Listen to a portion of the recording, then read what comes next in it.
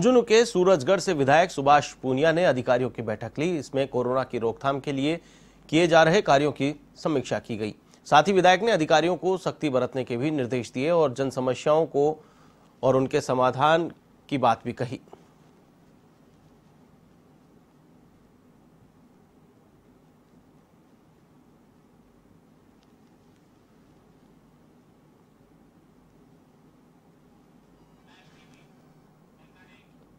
अलवर ज़िले में कोरोना महामारी के दौर में